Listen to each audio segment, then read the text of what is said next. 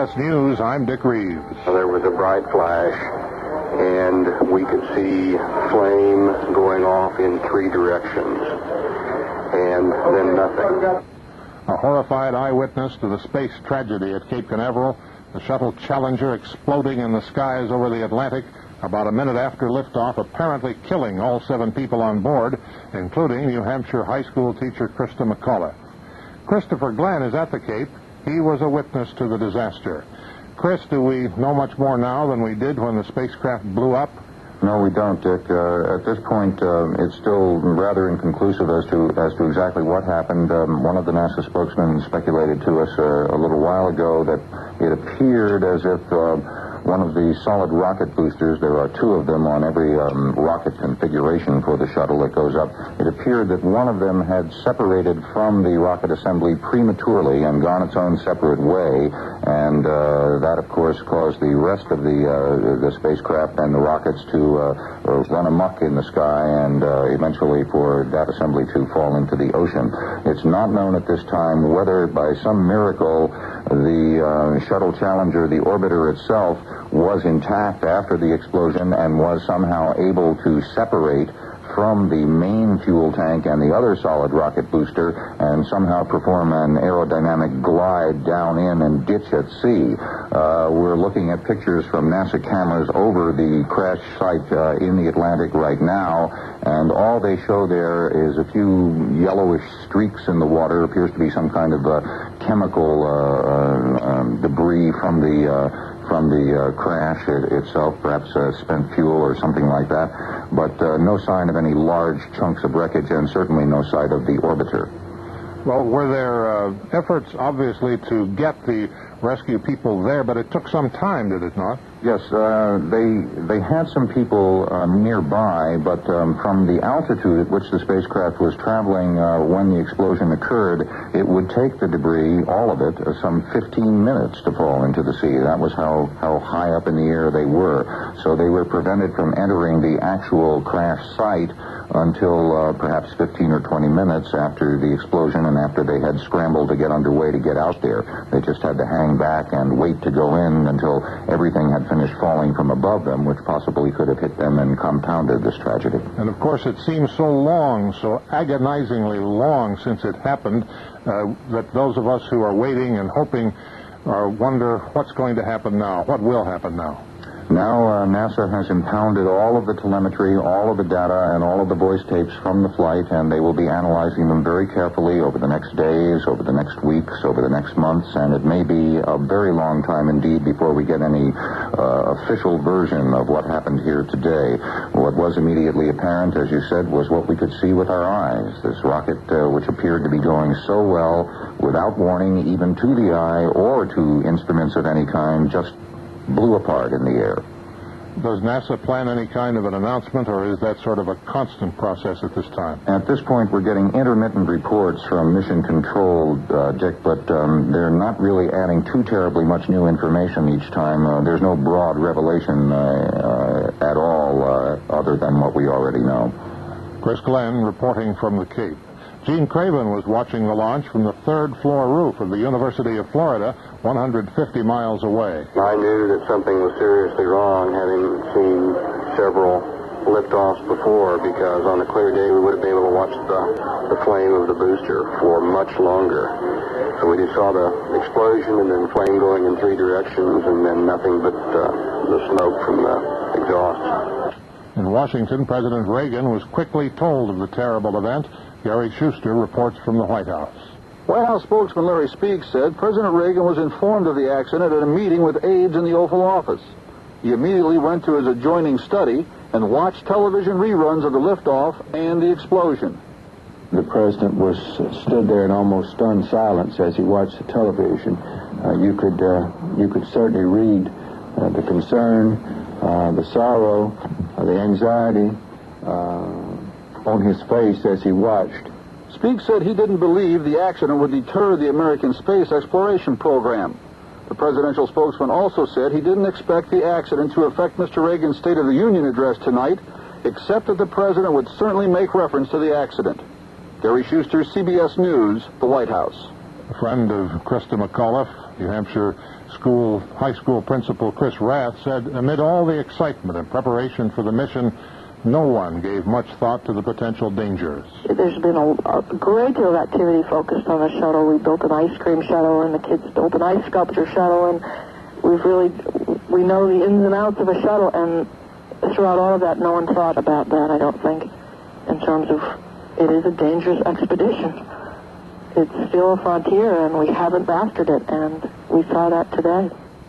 Recapping the story, the Space Shuttle Challenger exploded about one minute after liftoff from Cape Canaveral and plunged into the Atlantic Ocean some 60 miles from the launch pad.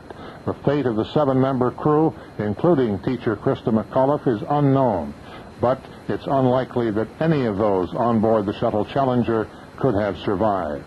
I'm Dick Reeves, CBS News. Now, direct from CBS News, this Radio Net Alert Bulletin. This is Mitchell Krause in New York. Stunned disbelief, tragedy, disaster. Cape Canaveral, the flight of the Space Shuttle Challenger. Moments after liftoff today, as you may have heard, it exploded in a giant fireball, apparently killing all the seven crew members aboard. Although there is no definite word on the fate of the crew, rescuers are at the scene it was difficult to reach the scene for debris fell for some 45 minutes after the explosion in space. Christopher Glenn is at the Cape. We'll be talking with him in moments on the status of the rescue effort now underway. Of course, the President and all members of the Congress and the Space Agency, the United States government, and I'm sure the people of the United States were shocked and saddened by this disaster at the Cape the first time in flight in 56 United States manned space missions that there was a disaster and there was death. And ironically, just the other day was the 19th anniversary of the disaster on the ground that killed several astronauts. But that was the first time we had a disaster and never in the air had a space shuttle encountered this difficulty. Christa McAuliffe was, of course, aboard that flight, the first citizen in space, the first teacher in space, and she was thrilled when she accepted her choice as the first private citizen to fly on the shuttle. This it's, from her White House speech. It's not often that a teacher is at a loss for words. I know my students wouldn't think so. I've made nine wonderful friends over the last two weeks. And when that shuttle goes, they might be one body. but there's going to be ten souls that I'm taking with me. Thank you. That's great. The parents of the New Hampshire teacher, of course, were on the scene at the Cape when the disaster occurred. They stared in utter disbelief as they watched the shuttle explode. There was cheering before the explosion, there was happiness, and then, oh my God, oh no, said one. And with looks of shock, the Corrigans, Edward and Grace Corrigan of Framingham, Massachusetts, the parents of Christa McAuliffe, were taken to another room by NASA officials. Christopher Glenn is at the Cape, and uh, Chris, uh, what's the latest that you have?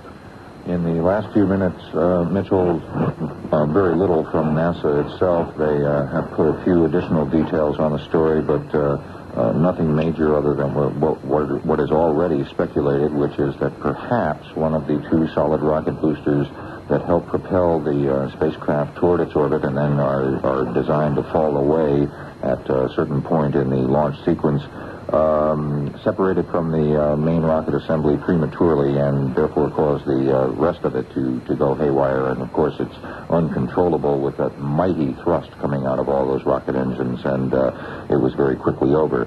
Uh, still unknown is whether uh, the orbiter itself somehow uh, survived the explosion and somehow it would have to have been a miracle managed to uh, make a, uh, an aerodynamic glide back into the ocean and ditch there as as planes can do. They can ditch in the ocean, but this was from a tremendous height, and it happened all at once without any advance warning, and uh, it's not even clear whether um, the uh, ground teams or the computers on the ground were able to get the rest of the rockets separated from the orbiter itself so that it would be possible for Commander uh, uh, Francis Scobee to have to have made a maneuver like that and tried to ditch at sea.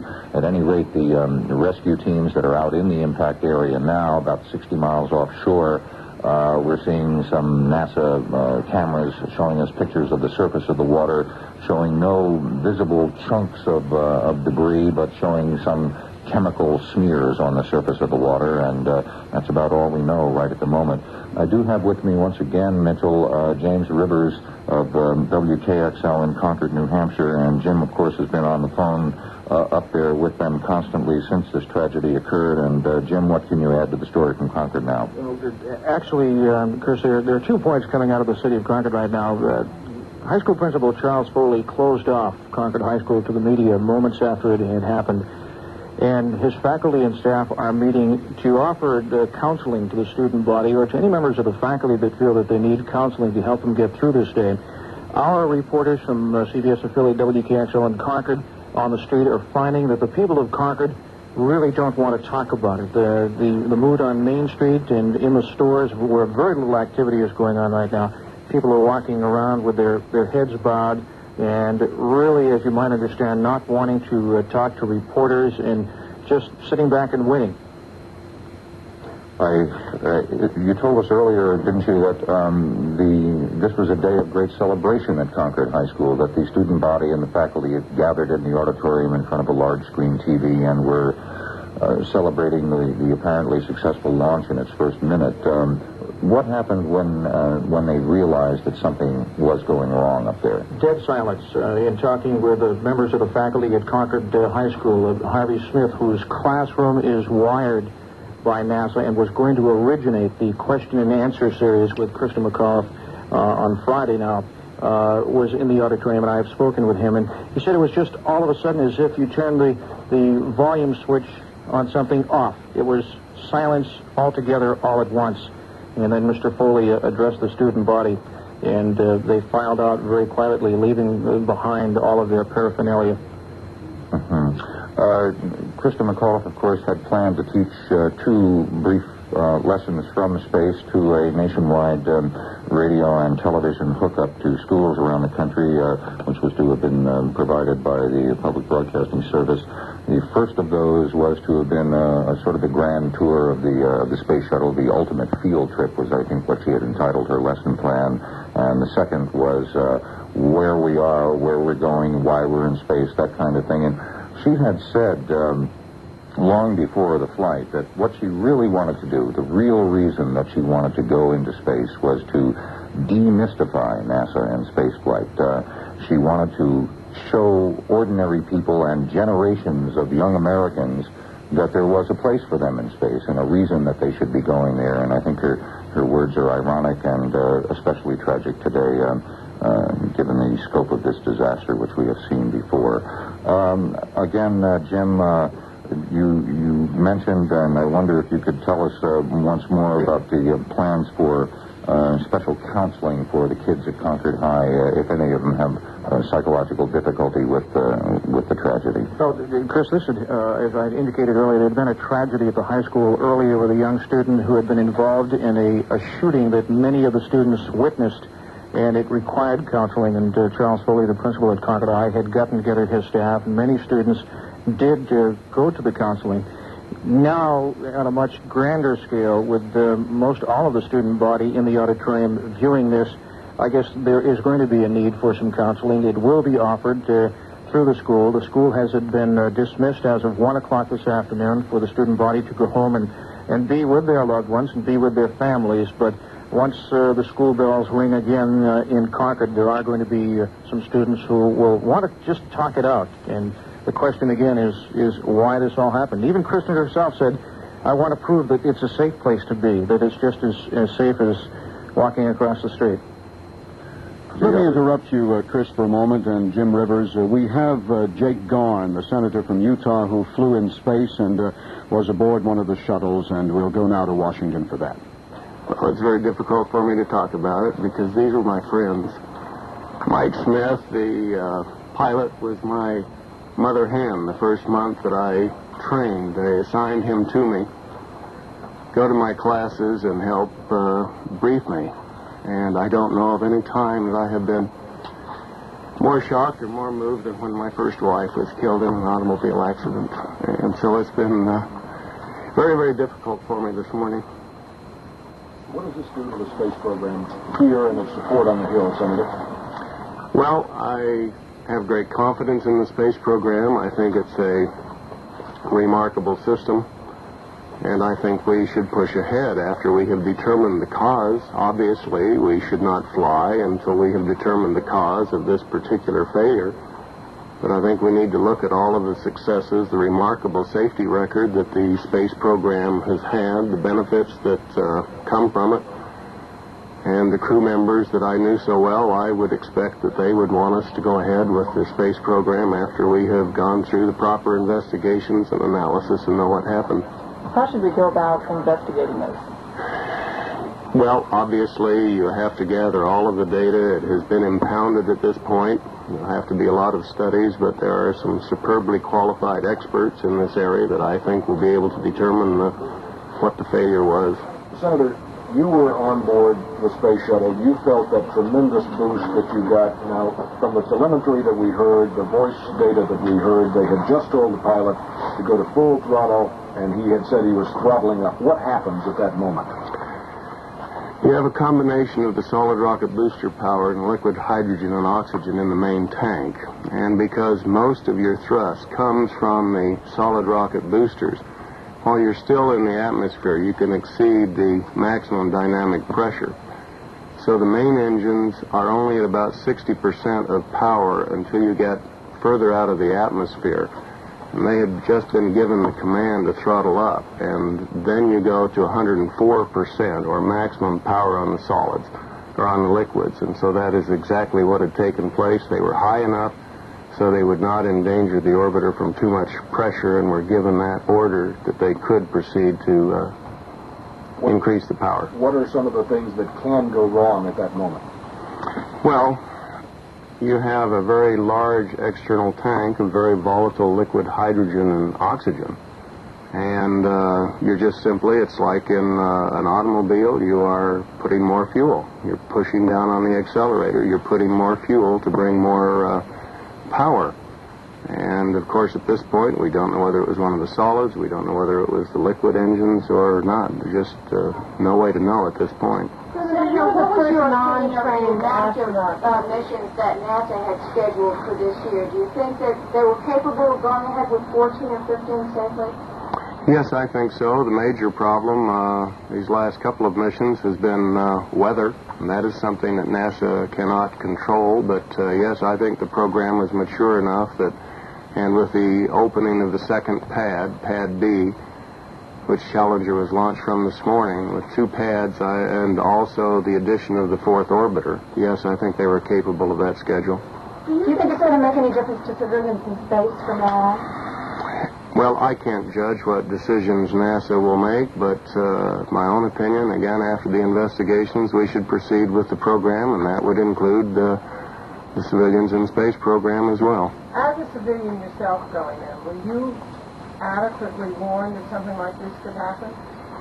Oh, of course. The the training is very thorough and uh, very adequate. In my own case, having flown more than 10,000 hours, I was certainly aware that there are dangers in uh, flying. However, I still feel very strongly that uh, I'm much safer in flying an aircraft than any day that I'm on the uh, Capital Beltway, and I don't mean that to be facetious at all. We kill nearly 50,000 people a year on the automobile in the highways of this country because of half of them because of drunk driving. I wish we'd pay a lot more attention uh, to that. Senator, should there have been some way for them, or was there any way for them to get out at this point? Should there have been? No, I don't think so. In uh, Columbia originally during the test phase, when just uh, they were sending two test pilots up, they did have an escape uh, capsule. The program had re- uh, been proved safe enough, in my opinion, that they didn't need them in the other orbiters, and Columbia had been modified so that it did not have the escape mechanism in it. Uh, this is purely my opinion, but in watching what happened this morning, I would doubt very much, even if you had had an escape capsule on board or parachutes, that it would have been possible to get out with that kind of an explosion uh, in any event. Senator, in light of all the delays surrounding recent shuttles and this one, do you think that NASA may have been too anxious to get this one off the ground? No, no, I was down on Saturday and for the launch on Sunday morning, and they were criticized on Sunday for being overly careful. Safety has always been uh, foremost in their minds. And we woke up on Sunday morning after having canceled at 10 o'clock the night before to a perfect morning. it was beautiful, sunny, clear blue skies, perfect launch, and there was a lot of talk that rather irritated me. Well, NASA was overly cautious. And so, no, I don't think that's true at all. What happens in your subcommittee now in terms of funding for the program? Well, I can't answer that question exactly because of Gramm-Rudman and the other budget constraints, but I certainly have no intentions other than to push on and uh, that does not change the uh, intent or the progress of the program. How, how do you think the investigation ought to be handled, Senator? Should there be some sort of blue ribbon panel put together, or should NASA be uh, uh allowed to handle it? Well, I think NASA has the technical experts, and if they need more than in-house, they will uh, pull them in. I don't think we need to uh, to go outside that, other than to draw on consultants if if necessary. NASA is so thorough and so careful. If any of you had experienced how they go through the redundancy and the backups and careful nature, the dedication of these scientists and engineers in NASA, I have full faith in them. They want the program to succeed. They want to take care of their uh, astronauts. It's always a real team effort. They work closely uh, together, and they will want to find out what happened more than anybody else. Senator, how lucky do you feel today that you returned safely? Well, I don't uh, feel particularly lucky. I, I think the program is, is reliable in all uh, programs, in flight test programs for aircraft. We have uh, we have accidents and I I don't. Uh, it's a surprise to me that it happened, but I I would go again tomorrow if if NASA would let me go. I would go again. What effect is this likely to have on the community of astronauts? Well, first of all, they're all such a close knit group. They're not looking any beyond today except the sorrow of losing some of their. Uh, their companions. You go through each one. I knew Kristen McAuliffe uh, the least of them because she wasn't there. Greg Jarvis, I trained with. Dick Scobee, I knew. Mike Smith was my mother hen, and you go Onizuka flew uh, in January last year when I was flying. So it's uh, and where they live together all the time, they train together, they fly together. There's obviously utter shock and disbelief down at Houston today among the astronaut corps. Live coverage of the aftermath of the tragedy at Cape Canaveral, the destruction in flight, the explosion that destroyed the Challenger and probably destroyed the crew of seven as well. We're bringing you live continuing coverage on the CBS radio network. Now we're going to the White House and Gary Schuster. Yes, uh, the president has just spoken with some reporters here in the Roosevelt room. He came in to uh, drop by a lunch uh, was being attended by network correspondents uh, in preparation, getting some uh, background information on the President's State of the Union address tonight. The President was asked several questions, and uh, I'll give you just some of the responses he, he had. Um, he said, I don't think any of the astronauts who were in that program were anything other than volunteers. They volunteered for the program, they were aware of the risks, but he also pointed out, of course, that the program has had a 100% uh, safety record up until now. He was also asked if uh, if there might not be some public backlash because of this accident against the program, and he said, "I don't think so." He said, "I will do all I can to counter any such development." And uh, he also said that uh, before any other challengers or any other space programs uh, get off the ground, that there will have to be a complete investigation of this and a resolution as to what happened before any of the others go up. He said he still has confidence in the program and those who administer it, and that is uh, NASA, which is a civilian uh, operation. The president also was asked about Christa McAuliffe, the teacher who was on board, who the president greeted here in the Rose Garden uh, several months ago as uh, the teacher who was selected to go up in space. And he said, I can't get out of my mind her husband, her children, and as well as the others who are on board, he said, but especially Christa McAuliffe. He was asked what reaction uh, he had to children because of Mrs. McAuliffe's uh, presence on this flight and the fact that she was supposed to do some teaching in outer space and, and programs had been done where children were doing uh, a number of projects related to this, the president was asked, what, what do you tell the children who see this, who will hear about it? And he said, I guess what you have to tell them is that life must go on. He was also told that, uh, of course, that his speech tonight, the State of the Union address, is supposed to be upbeat, was supposed to be an uplifting speech, a vision for the nation for 1986. And doesn't this accident uh, cast a pall on it? And he said, I'm sure it does, but he said, you can't stop governing a nation because of a tragedy.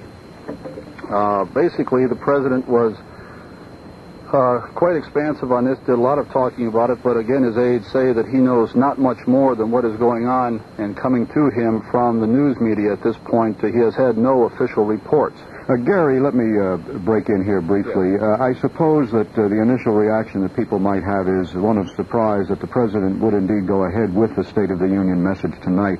You indicated that he said that uh, government uh, must go forward. Would there be any precedent in your in your knowledge for him uh, postponing it or delaying it for another time? Well, I, I don't know the, if there would be precedent in it. I, I, I suspect that it would be, although I can't go back in history that far to tell you if there has been a postponement of a, a State of the Union address. But uh, the, the, mood here is now that, uh, yes, this is a tragedy and, uh, and it'd be looked at and be investigated. But at this point, the staff, including White House uh, spokesman Larry Speakes, who told us earlier that the president will go on with his address, will probably make some mention of the uh, of the accident, perhaps in, in detail as much as he knows, and perhaps bring the nation up to date on it. But it might all, almost be a forum for him to do that, and it, in, in, for that reason alone, he might give the State of the Union. Okay, Gary Schuster, you might be interested in hearing that the Soviet news agency TASS has issued a one-sentence report on the explosion. Uh, it was simply Dateline New York, and it said the U.S. Space Shuttle Challenger exploded shortly after takeoff. Uh, the Soviet Union is the only other nation that sent manned vehicles into space. It reported the deaths of four Soviet cosmonauts in the past, uh, but so far no further reaction from the Kremlin. And now Christopher Glenn uh, in the Cape uh, with a spokesman for NASA and more on the tragedy at the Cape today, the uh, explosion that destroyed the Space Shuttle Challenger moments after liftoff. Chris? Yes, Mitchell. Uh, NASA's George Diller is back with us once again, and he has some um, new information about the kind of um, uh, rescue effort that's being mounted out there in the Atlantic. George? This uh, is is a joint effort between uh, NASA and uh, the Department of Defense uh, Management Office for Space sh- Shuttle Support, and also the Coast Guard. a number of Coast Guard C-130s have flown from the Coast Guard Air Station at St. Petersburg, Florida another Coast Guard aircraft is coming up from Grand Bahama. Uh, they are now on the scene. One of the solid rocket booster retrieval ships that belongs to NASA was uh, uh, in that area at the time the mishap occurred. That one is there. Uh, a Coast Guard hydrofoil is now there. Uh, we also uh, have a Coast Guard cutter coming up from Grand Bahama Island. So at this point, we're we're moving to the area, but so far not much has been found. I thought I saw on the uh, NASA cameras out there in aircraft at the uh, impact site uh, some chemical residue on the water. Is, was that correct, or, or, have they spotted anything at all yet? They have spotted debris. Uh, we're not. We, we don't know if it's solid rocket booster debris or uh, or orbiter debris, and uh, we're still not giving up hope that the orbiter might be found intact. You know, what condition the orbiter is in is going to depend on lo- a lot of what the explosion was.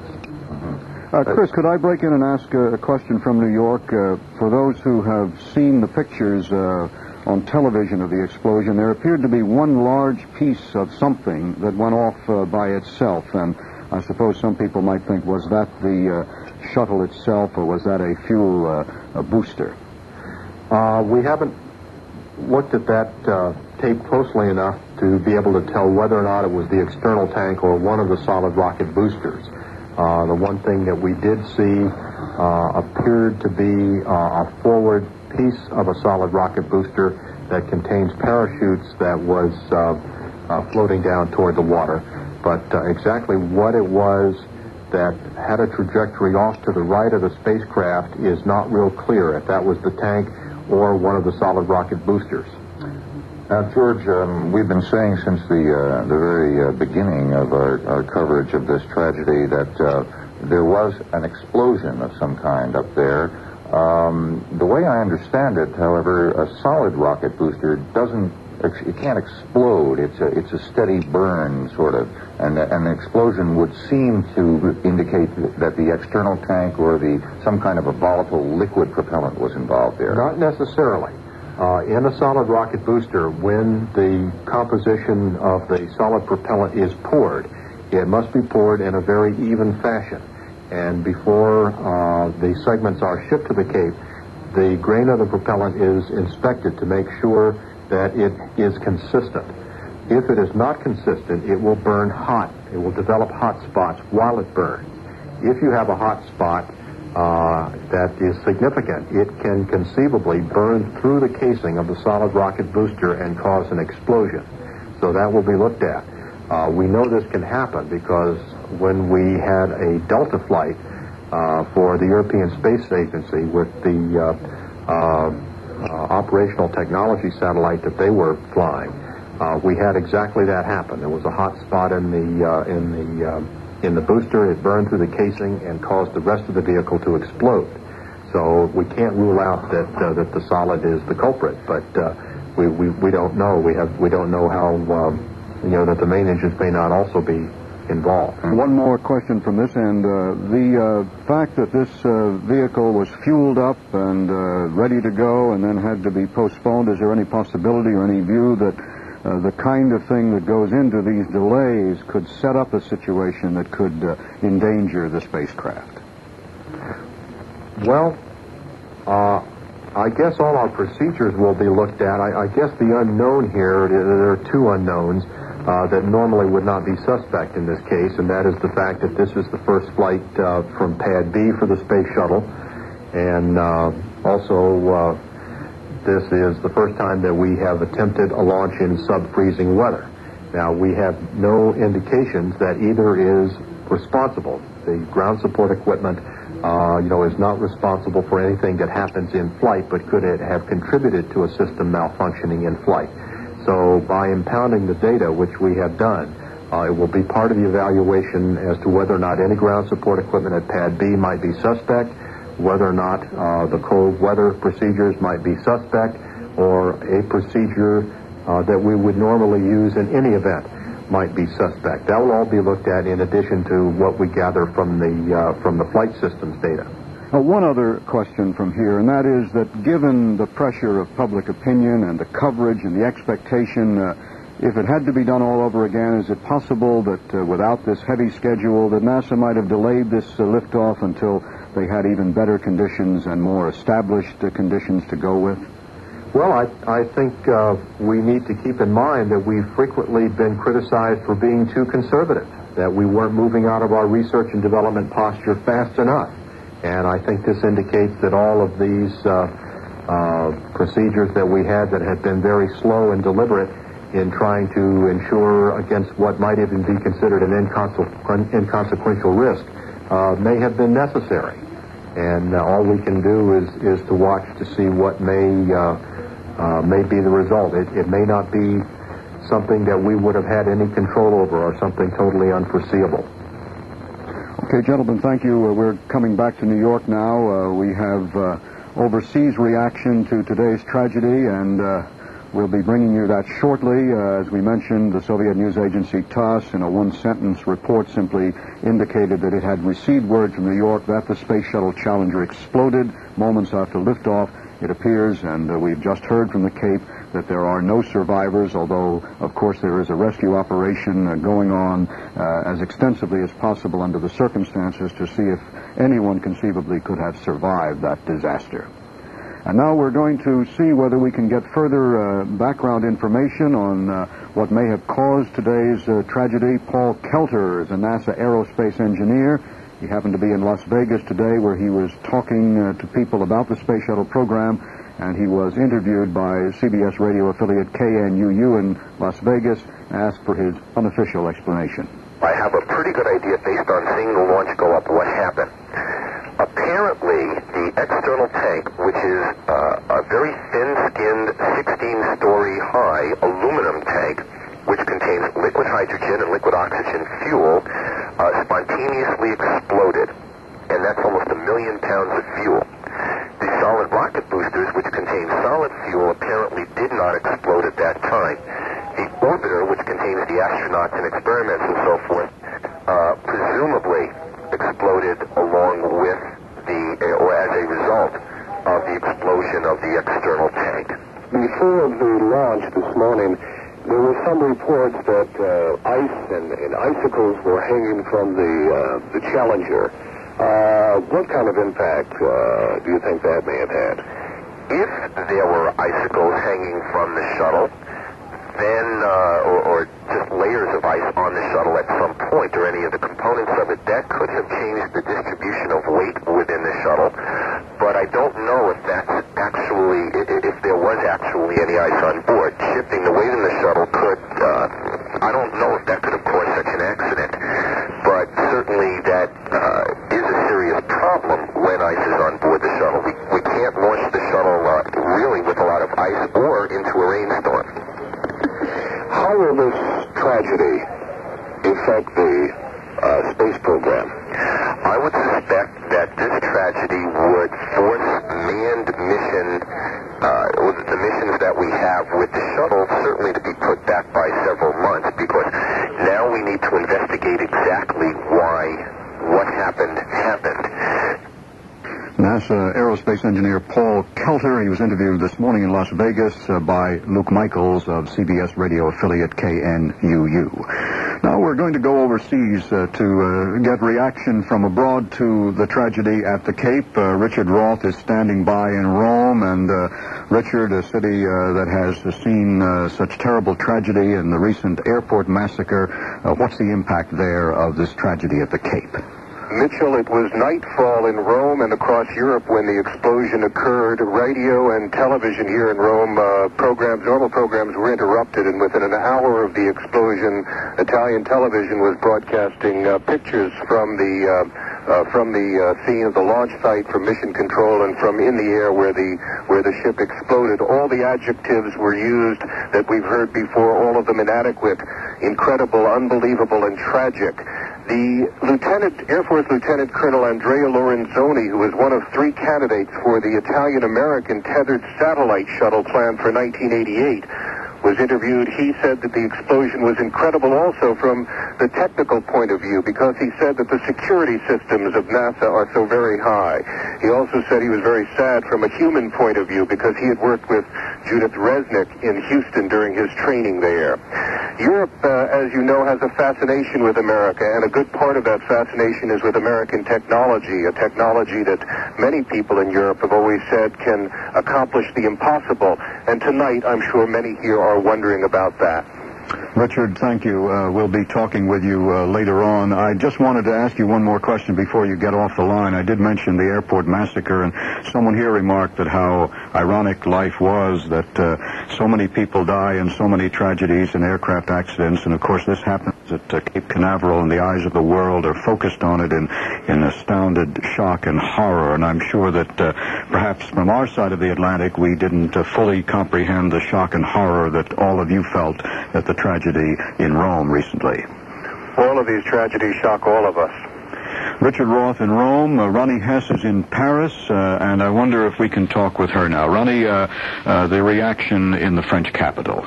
Well, I think that most people are stunned and shocked. There have been special reports on radio and television.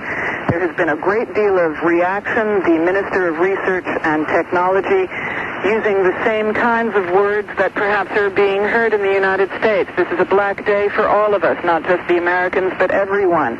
And uh, he has said, we think of all of our American friends and their families, not just the astronauts, but all of NASA's technical staff. He is sure that America will come back. He does not think this will hold back the U.S. space program. And frankly, he said it's a miracle that there have not been worse accidents considering the number of manned space flights.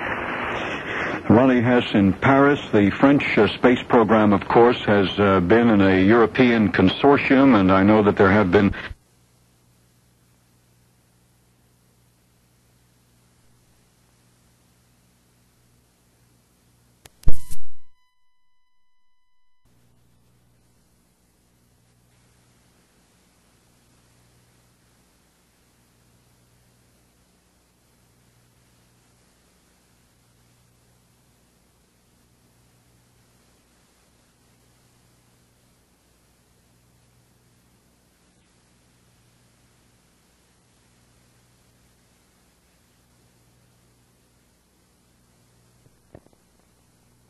program. It may have an effect on the schedule of satellite launches.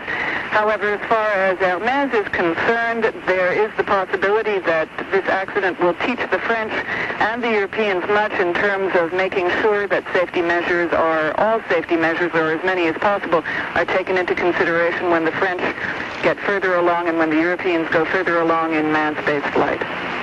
Thank you, Ronnie Hess. In, in Paris, we've heard from two European capitals now uh, the reaction to the disaster at Cape Canaveral today. In case you have just joined us, this is continuing CBS radio network coverage of the disaster that destroyed the Space Shuttle Challenger moments after liftoff today, and apparently all seven crew members, including schoolteacher Christa McAuliffe and uh, the rest of that crew, uh, Francis Scobee, the commander, uh, Michael Smith, Ronald McNair, Ellison Onizuka, Gregory Jarvis, and uh, the space teacher, along with Judith Resnik. All were aboard that craft, and uh, the outlook uh, for the rescue is very bleak. Uh, for those who may have seen television pictures of the explosion, uh, the possibilities of uh, picturing anyone escaping uh, from that Holocaust uh, were extremely dim.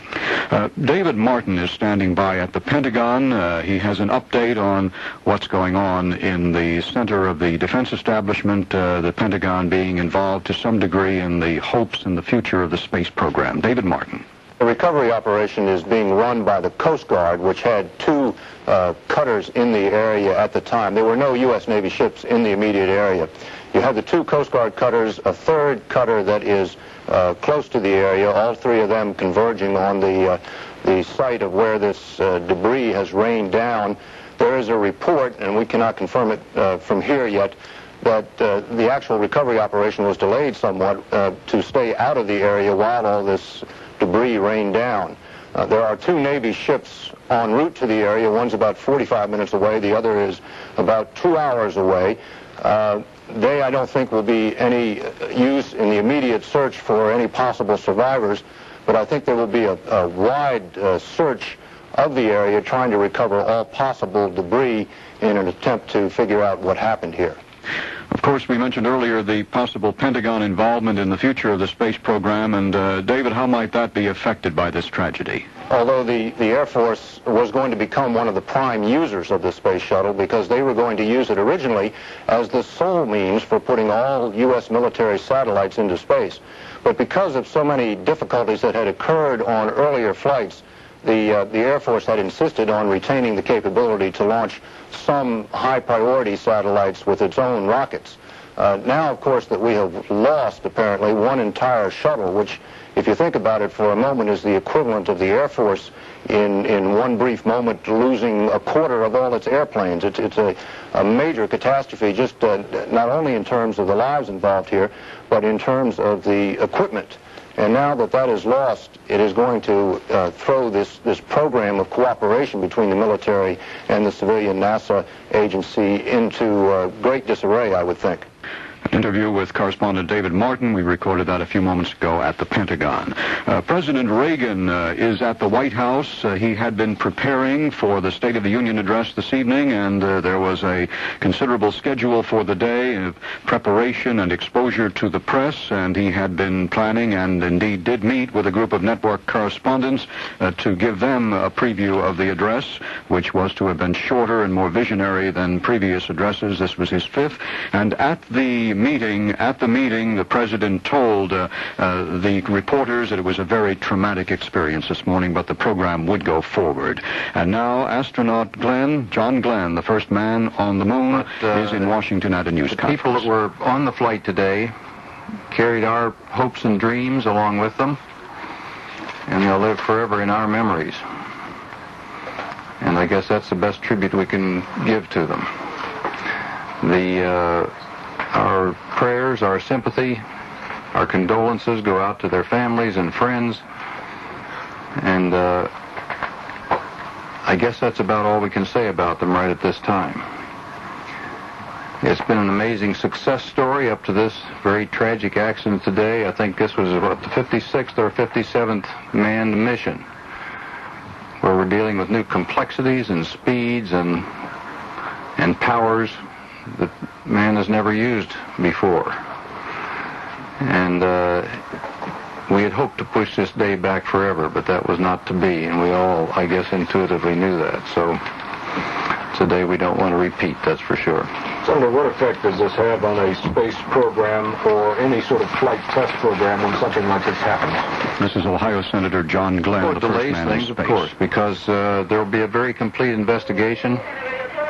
Our view of what happened uh, this morning would be only speculation at this point, although the very slow motion pictures I saw on one of the channels a little while ago seemed to show the first light coming out of uh, one of the solid rocket cases. Uh, whether that'll turn out to be the cause of the difficulty or not, I don't know.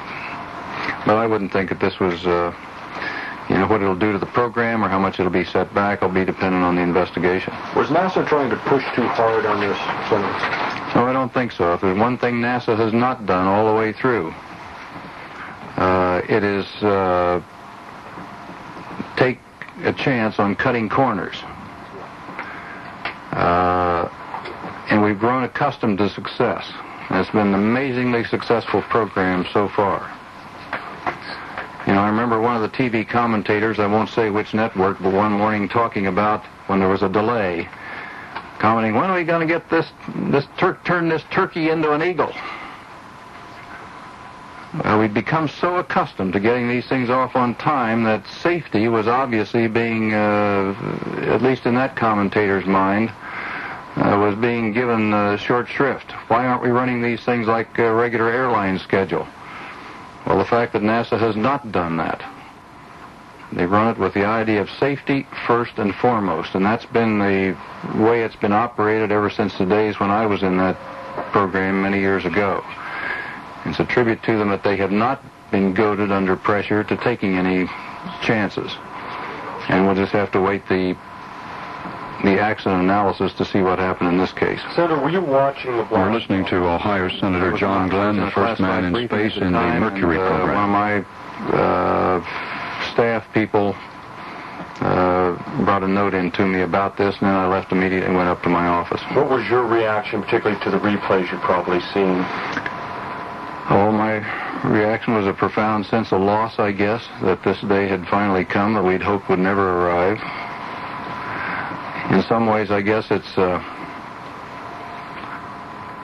you know, in, in our human existence, I, let me be philosophical for a moment.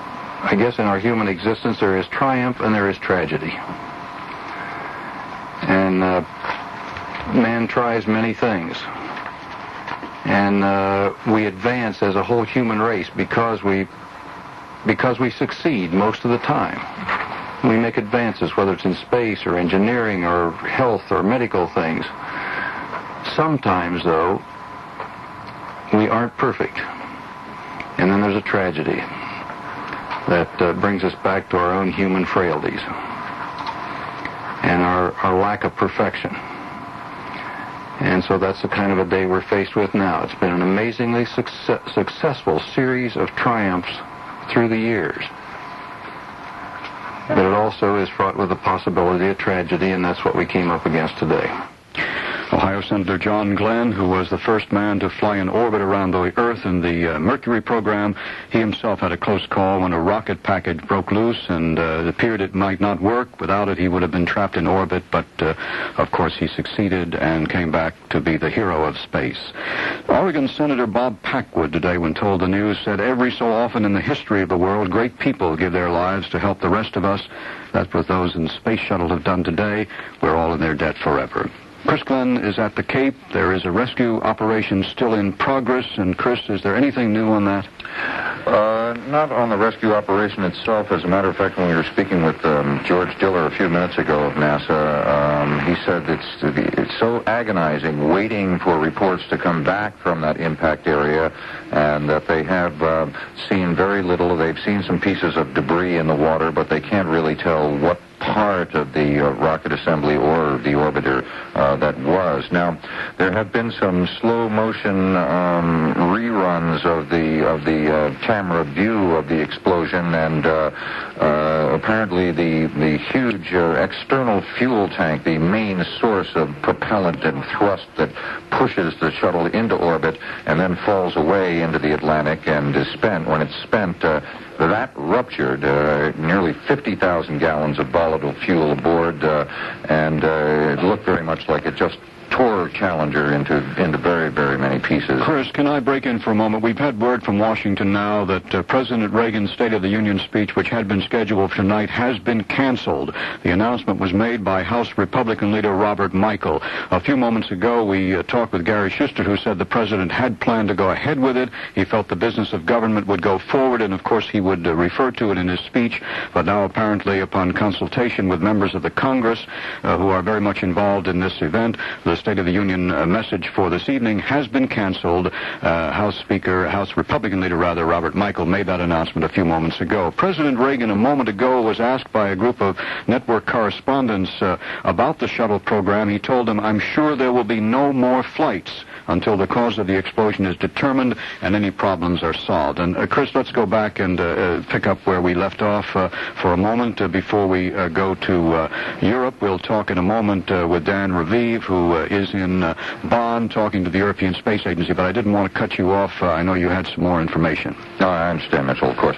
but I was saying the the slow motion reruns of the explosion of the shuttle Challenger showed that the, the the big external fuel tank did rupture and and, when it did so, uh, it, it, just tore the much smaller orbiter into a lot of pieces, and, and NASA has said uh, since that fine pieces of the debris continued to fall into the impact area out in the Atlantic for about 45 minutes uh, after it happened. Um, we uh, had mentioned that uh, George Diller of NASA was here, and he was describing to us um, after he left our air here a few minutes ago what what happens now, and he said that um, they intend to treat it just like an, an airplane crash investigation. They will try to recover as much of the debris as they can, both from the surface and from the bottom of the sea. They will bring everything back here uh, to the Cape, or at least in the area. They will uh, have a special hangar, and they will lay all this debris out, and then from inspection of the debris and piecing together the telemetry and the other data that they gathered uh, uh, while the flight was in progress, they'll they'll uh, try to figure out just exactly what did happen. Uh, we have with us now a, a longtime colleague, Spencer Allen, who is uh, uh, in the area locally and has covered space activities for CBS News for many, many years. And Spencer, you've been um, talking with a youngster from New Hampshire. Yes, it was Brian Ballard. He's a 16-year-old senior from Concord High School, and he's also editor of the uh, Crimson, the school uh, newspaper.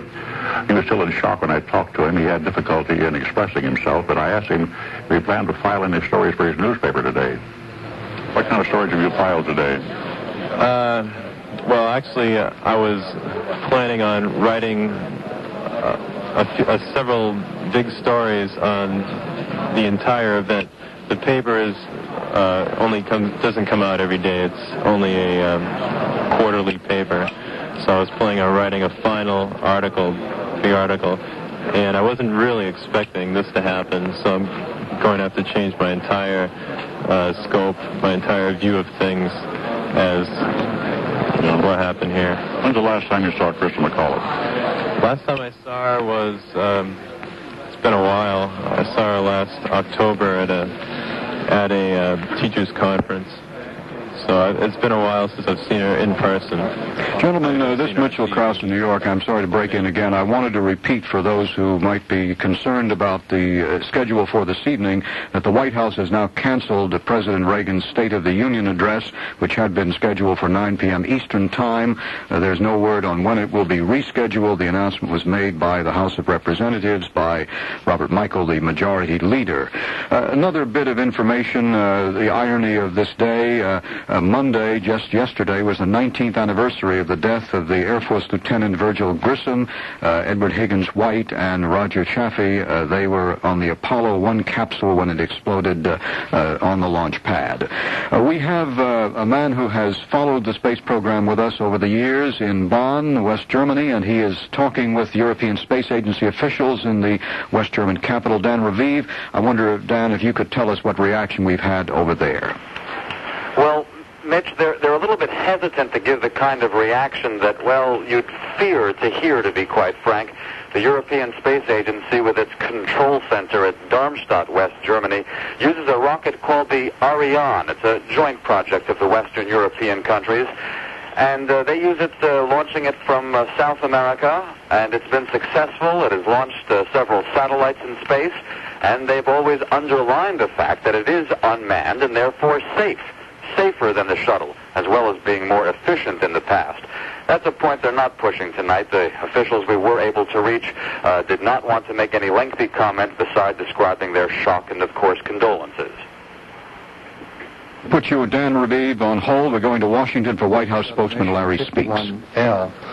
The President, in consultation with the leadership of Congress, has decided to postpone the State of the Union address that was scheduled for this evening. He will address the Congress and the American people on next Tuesday. The President, in addition, has asked the Vice President to go immediately to Cape Canaveral's Kennedy Space Center along with the acting NASA director, Bill Graham. The Vice President will carry with him the President's personal concern for those courageous Americans who were aboard the space shuttle. In addition, the President will speak to the American people from the Oval Office later this evening regarding this tragedy. The President, since learning of the tragedy shortly before noon, has conferred with Don Regan, who in turn consulted with Speaker Tip O'Neill and Senate Majority Leader Bob Dole. They concurred in the President's decision to delay his State of the Union. A few moments ago, the President met in the Oval Office with NASA Director Graham and instructed him to fly to the Cape with the Vice President uh, to begin an effort to find out the cause of this tragedy. And then the President said to go forward with the nation's space program. The President said, and I quote, these people were dedicated to the exploration of space. We could do no more to honor them, these courageous Americans, than to go forward with the program. Can you tell us some of the reasoning in the decision to postpone, since, as you know, the President's first reaction was to go ahead with tonight's speech? This is White House spokesman Larry the President, like all Americans, has seen this tragedy unfold on television and has felt keenly uh, what those family members must have felt watching that shuttle go into the air at uh, at the Cape. First pride, and then second horror. Um, the president feels that these same emotions are being experienced by people all over this nation at this moment. Uh, and with the con- consultation of Congress that's taken place in the last hour or so, the president thought it was entirely appropriate that uh, his State of the Union uh, be deferred um, until uh, and let him address the American people on what's happening here Did. Senator Graham tell him finally what happened? Does he have information, confirmation? No, the um, the uh, NASA has issued a statement indicating simply that there was an explosion aboard the space shuttle shortly after it lifted off uh, from the Cape this morning, and that a search and rescue mission is underway. Uh, that is continuing at this hour and will un- will continue uh, until uh, all efforts to uh, uh, to find out uh, what the situation in there are exhausted. Does the President believe... Right. Great. Larry, is the President also going to cancel his State of the Union activities for the balance of the weekend? What time is the uh, other remarks tonight? The uh, the president will um, this uh, will for the balance of the week continue on his uh, previously announced schedule, with the exception of those activities which were designed as a follow-up to the State of the Union. They will be rescheduled for next week. The time of the address uh, to the nation has not been determined, uh, pending definite word from NASA about the situation. HHS, Treasury, and White House spokesman Larry Speakes announcing to the nation and to the Washington White House press corps that the State of the Union message by President Reagan, originally scheduled for tonight at 9, has now been canceled. It's been postponed until until next Tuesday night. However, Mr. Reagan will address the nation from the Oval Office. The time of that uh, statement has not yet been determined, according to Mr. Speakes. Earlier, the president said he would go ahead with that speech. All of this, uh, the result of the tragedy today at Cape Canaveral.